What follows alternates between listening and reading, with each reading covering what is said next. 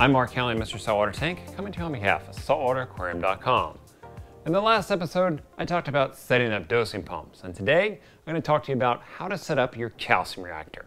I love calcium reactors on tanks above 200-ish gallons because you get the most bang for your buck in terms of supplement added to your tank for the money. You simply can't dose a large tank, especially a large tank with grown-in corals, and make it work. You got to mix up too much solution, buy too much additives, it's a headache and it costs you more money in the long term. So we're going to talk about calcium reactors today and how to set one up. Now, to know how to set one up, you have to understand the science behind them. And the science behind them is actually really simple.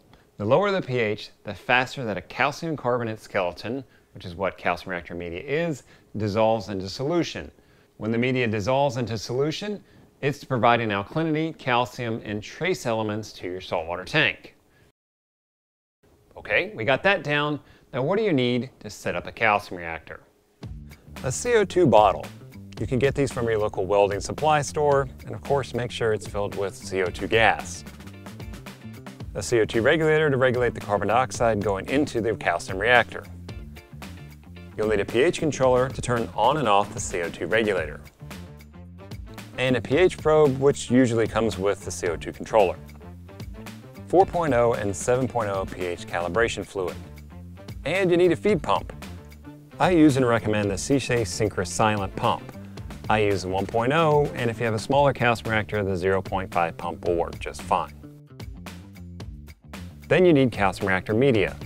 I use the Two Little Fishies Reborn media, and then you're going to want to get what size of media depending on what your calcium reactor manufacturer tells you. I also will mix in Two Little Fishies Remag calcium reactor media, as this will boost magnesium levels coming out of the calcium reactor. Of course, you need a calcium reactor. Kind of hard to miss, but I still need to mention it. Then you're going to need some way to test your tank's water to see how things are going. You can do that manually with an alkalinity or calcium test kit, or you can do it automatically with an automatic water tester like the Neptune Systems Trident that I use. With dosing pumps and with calcium reactors, there's some amount of set it and forget it. You're going to get used to them, you're going to get the feel of them, but you don't want to just set them up and then leave them. You have to see how things are going and adjust them along the way. Now, that's not a bad thing because as you see progress in your tank, you're going to need to dial up your dosing and dial up your calcium reactor. So you got to test and see how things are going. Once you've got all that gear, then it's time to actually set up your calcium reactor. Now I got to give credit where credit is due on this one my old reefing buddy Kevon. He's the one who taught me this method, and I've been using it for at least eight years now, and it's worked every single time. So here's how I set up that calcium reactor. Set up your CO2 regulator and the CO2 controller per the manufacturer's instructions, and then fill your calcium reactor per the manufacturer instructions as well. Set the rate of the water coming out of the calcium reactor such that you have a constant stream that's just about to break into drips. This is too slow, right here is where you want it. Then set your CO2 regulator to one bubble every second. Next, you set the bubble size coming out of the CO2 regulator. Too big of a bubble, this thing's going to turn on and off very quickly, which is going to wear it down. Too small of a bubble, you're not going to get the pH inside of your calcium reactor low enough to get it down to your set points. Now don't freak out about that piece of information. There's lots of leeway on this. If you overshoot or undershoot, you can quickly see that and make a small adjustment and you fixed it. So what's set point? Well, you have to tell the CO2 controller where you want it to turn on and where you want it to turn off. I recommend you start at a pH setting of 7.4 for the high and 7.3 for the low. When the pH inside of the calcium reactor gets above 7.4, your CO2 regulator is going to turn on, let CO2 into your calcium reactor, and drop that internal pH. When it gets below 7.3, this thing is going to turn off, cut off the CO2, and then the pH inside of your calcium reactor is naturally going to come back up. Now keep this in mind about set points. Until you get down to about 7.0 for the internal pH of your calcium reactor, you're not going to get tons of media melt. So starting at 7.3 and 7.4 is very conservative, and that's okay. Start slow.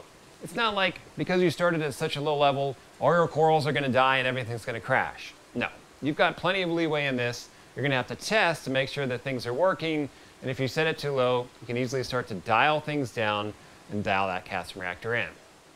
Then let things ride for 24 hours. After 24 hours, if your CO2 controller logs pH, then you can look at the graph to make sure you're not over or undershooting the low pH set point. If you're overshooting it, you're gonna to wanna to make that bubble size coming out of the CO2 regulator a little bit smaller.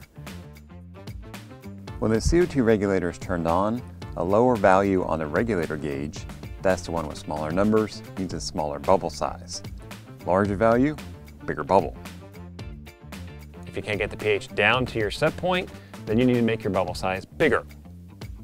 Then test. Test your alkalinity and calcium to see if you need to increase the set point in your calcium reactor.